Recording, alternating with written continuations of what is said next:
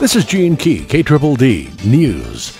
A motorcycle driver remains in the hospital with life threatening injuries after an accident in Amarillo.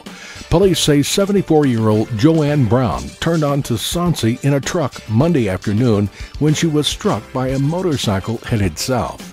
The driver of the motorcycle, 43 year old Keith Horton, and his 11 year old passenger, Haley, were transported to the hospital. Horton remains in life threatening condition. The young girl was treated for non life threatening injuries. The driver of the truck was released from the scene. The accident remains under investigation.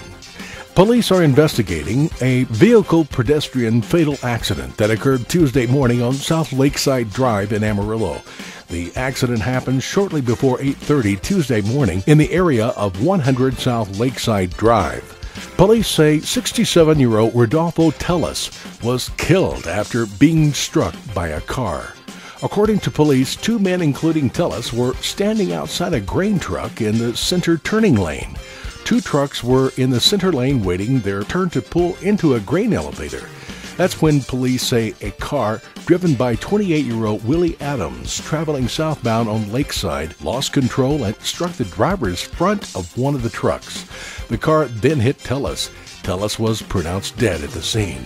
The other man was able to jump out of the car's path for the most part and suffered only minor injuries.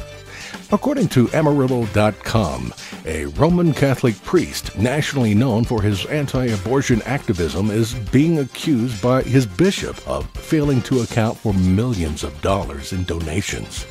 Bishop Patrick Zurek of Amarillo is ordering the Reverend Frank Pavone to stop his work outside the diocese and return to Amarillo for prayer and reflection. This is Gene Key, K D News.